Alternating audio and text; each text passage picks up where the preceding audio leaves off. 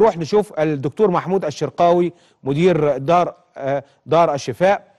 آه، دكتور محمود اولا مساء الخير يا فندم. مساء الفل أحمد ازي حضرتك؟ عايزين نطمن الأول على فناننا آه، شريف دسوق وكمان الرئيس امبارح اهتمام بالفنان شريف وعلاج شريف. نقل النهارده ممكن تحكي لنا اولا حالة شريف فناننا الكبير شريف دسوقي حاليا اللي موجود عند حضرتك في المستشفى.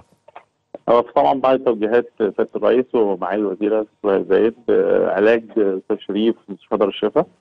آه، على فور على طول تم تشكيل فريق طبي متخصص م. لمناظره الحالة. وصل تقريبا الساعة 4 الفجر. بدأنا نتعامل معاه فريق طبي متخصص جاهز. من مستشارين الجراحة العامة والأوعية الدموية آه والبطنة والسكر والتغذية العلاجية م. تم مناظرته وعملنا بعض الفحوصات المبدئية والمعملية والأشعاعات. آه وقفنا على تشخيص الحالة بدأنا خطة العلاج بتاعتنا م. وحاليا هو يتماشى العلاج يعني واموره الحمد لله في تحسن يعني الحمد لله نعم ال ال ال الحال إيه دلوقتي حالته إيه يعني طمنا نفسيا اولا وبعد كده طبيا نفسيا آه، طمنا عليه آه نفسيا طبعا أكيد في يعني نعم. ما بعد. العمليات الجراحية اللي هو خاضع عليها طبعا في شوية اضطراب نفسي بسيط. بدأنا نتعامل معاه فريق من الدعم النفسي م. توجيه معالي الوزير من الامانه العامه للصحة النفسية اللي كان موجود النهارده وتعامل معاه. آه، الفريق الطبي اللي بيتعامل معاه لحد ما بينشر له جو من ال... في جو من الود والتفاؤل معاه بحيث إن هو يعني نفسيا يبقى كويس م.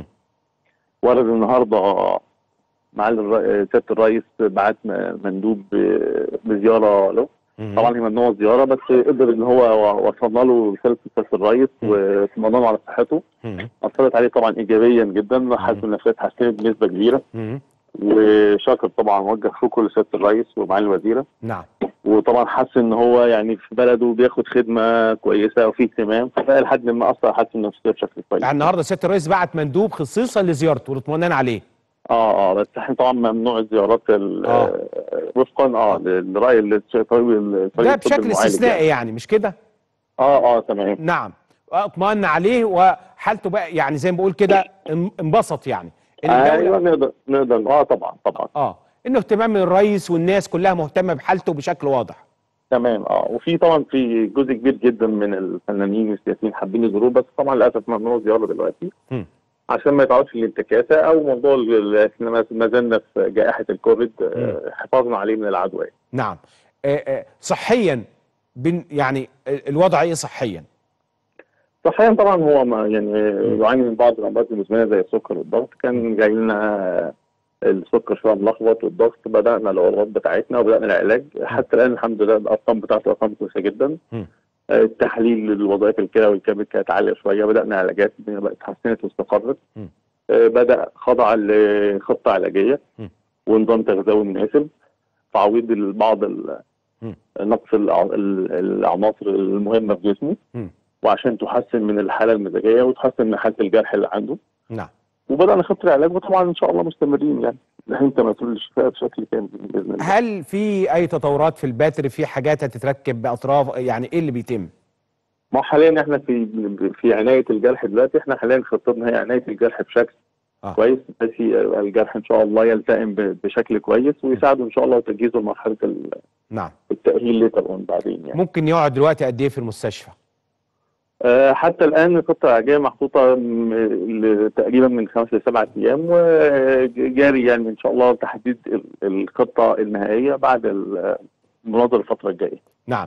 إحنا بنتكلم على آه، علاج على نفقة الدولة مش كده؟ أكيد طبعا آه. آه. توجيه علاج ونفع الدولة وكل الرعاية من جانب حضرتك وكل الطاقم الطبي اللي موجود في دار الشفاء. آه أكيد طبعا طبعا.